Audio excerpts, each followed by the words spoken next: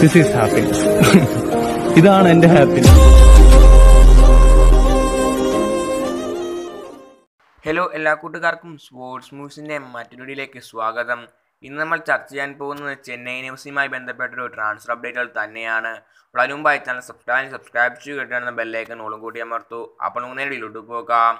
നിലവിൽ Chennaiyin F C ആകട്ടെ അവരുടെ ക്യാപ്റ്റനായ റാഫേൽ ക്രിവലാറോ തിരിച്ചു വരുമെന്ന കാര്യം ഇപ്പോൾ ഒഫീഷ്യലായി കൺഫേം ചെയ്തിട്ടുണ്ട്. അപ്പോൾ അടുത്തൊരു സീസൺ കൂടി താരം ഇത് ഈ ഒരു മിഡ് മജീഷ്യൻ ആകട്ടെ ആ, ചെന്നൈ എഫ് സിയോടൊപ്പം തന്നെ ഉണ്ടാകും. അവരുടെ കപ്പിത്താനായ കൂടെ ഉണ്ടാകുമെന്ന കാര്യം ഇപ്പോൾ ഉറപ്പിച്ചു കഴിഞ്ഞിട്ടുണ്ട്. അപ്പോൾ കണ്ണിനറിയാം റാഫേൽ ക്രിവലാറോ അടുത്ത വർഷം കൺസിഡറായി കളിക്കുമോ എന്ന്.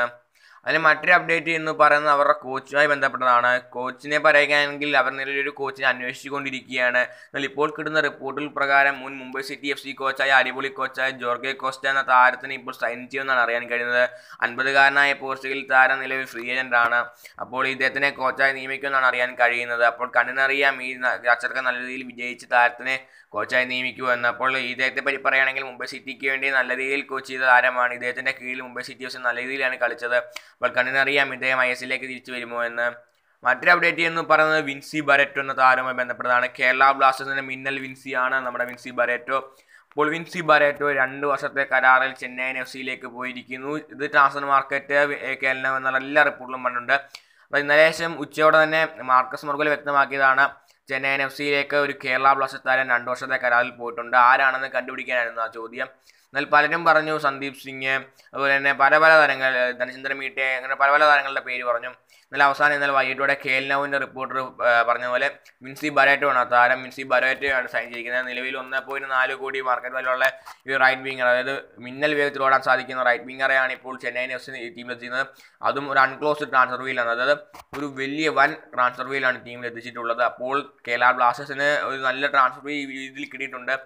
നമ്മൾ വിഷമിക്കേണ്ട. കാരണം മിൻസി ബരറ്റോയെ വിറ്റത് കരോൾ സ്കിൻകിസ് ആണ്. അപ്പോൾ അതിന്റെ മനസ്സിൽ എന്താണെന്ന് നമുക്ക് അറിയില്ല. എനിക്ക് തോന്നുന്നു നല്ലൊരു ട്രാൻസ്ഫർ വീക്ക് വേണ്ടിയാണ് മിൻസി ബരറ്റോയെ വിറ്റത്. കാരണം ഓൾറെഡി രാഹുൽ കെ പി പോലുള്ള താരങ്ങൾ നിലവിൽ നമുക്കുണ്ട്. അതുകൊണ്ട് തന്നെ ആയിരിക്കാം മിൻസി ബരറ്റോയെ വിറ്റത്. അപ്പോൾ അതിന് പകരം നല്ലൊരു ട്രാൻസ്ഫർ വീക്ക് കൊടുത്ത് മറ്റൊരു താരത്തെ ടീമിലെത്തിക്കാൻ ചിലപ്പോൾ വി പി സുഹൈറിനെയും ആകാശ് മിശ്രയെ ഒരുമിച്ച് ടീമിലെത്തിക്കാനായിരിക്കാം ചിലപ്പോൾ നീക്കം നമുക്ക് അറിയില്ല എന്തൊക്കെയായിരിക്കും എന്ന് നമുക്ക് നമ്മുടെ പ്രതീക്ഷയാണ്.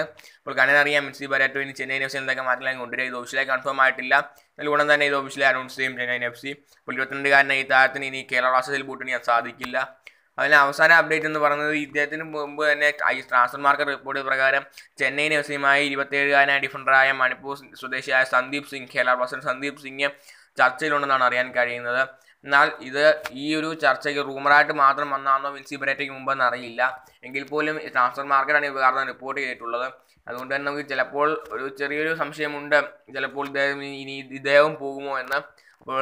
കാരണം ഇദ്ദേഹത്തിന് കഴിഞ്ഞ ദിവസം നല്ല അവസരങ്ങൾ കിട്ടിയില്ല ഓൾറെഡി സഞ്ജീവ് സ്റ്റാലിൻ പിന്നെ ഖബ്ര നിഷു കുമാർ എന്നിങ്ങനെ നിരവധി താരങ്ങളുണ്ട്. അതിന് പുറമെ ആർക്കോ ലെസ്കോവിച്ച് ഹോ ഓർമ്മിപ്പം അങ്ങനെയുള്ള നിരവധി താരങ്ങളുണ്ട്. അതുകൊണ്ട് തന്നെയാണ് താരത്തിന് അവസരങ്ങൾ ലഭിക്കാതെ പോയത്. അതുകൊണ്ട് തന്നെ ഇപ്പോൾ താരം ടീ- വിടാൻ സാധ്യതയുണ്ട്. അപ്പോൾ കണ്ണിനറിയാം ഇദ്ദേഹത്തിനെയും ജനീഫ് റാഞ്ചുമോ എന്ന്. ഫ്ലുവൻസ് ഇതാണ് ഇപ്പം ഏറ്റവും വലിയ ട്രാൻസ്ഫർ അപ്ഡേറ്റ് നിങ്ങളുടെ അഭിപ്രായങ്ങൾ കമന്റ് ചെയ്യും. വീഡിയോ ലൈക്ക് ചെയ്യും അപ്പോൾ വീഡിയോ അവസാനിപ്പിക്കുന്നു. ഇതുപോലെ ക്ലബ് ചെയ്യാൻ മറക്കാം സബ്സ്ക്രൈബ് ചെയ്യൂ. പുതിയ വീണ്ടും കാണാം.